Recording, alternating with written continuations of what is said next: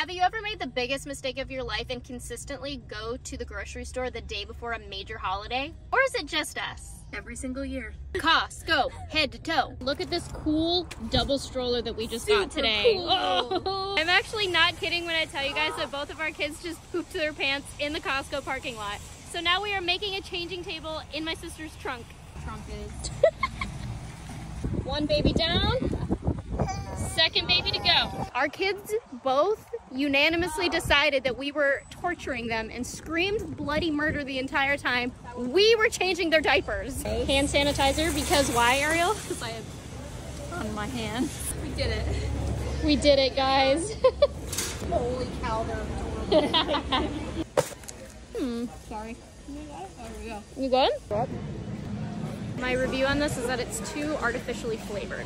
I really wanted rotisserie chicken, but they told us 20 minutes because everybody's eating rotisserie chicken.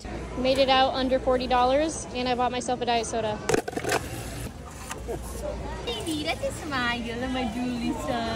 Do not recommend ever going to a grocery store, especially Costco, on a Saturday, the day before a major holiday.